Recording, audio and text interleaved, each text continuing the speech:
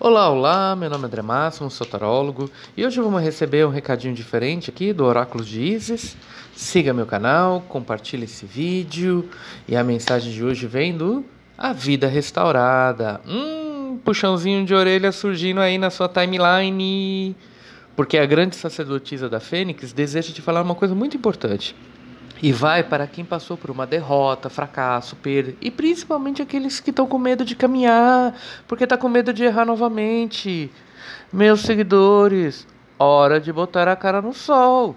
O escaravelho da carta é um bicho de cascadura, que caminha longas áreas para deixar seus ovos. E depois que ele consegue, ele parte para outra, Circle of Life. E os filhotes que lutem. Então, esse restaurar a vida quer dizer só uma coisinha. Não é porque seu mundo caiu lá no passado que vai significar que você não tem um valor nesse presente ou que vai impedir de construir um futuro. Tá bom, tá bom. Eu sei que não tá fácil superar, mas o sol está nascendo. Então tire a poeira, bata suas linhas e bora voar de novo. Muitos de nós não fomos ensinados a deixar algumas lágrimas caírem soltas para encerrar aquele momento naquela hora de forma coerente, coerente, direta, dando um ponto final.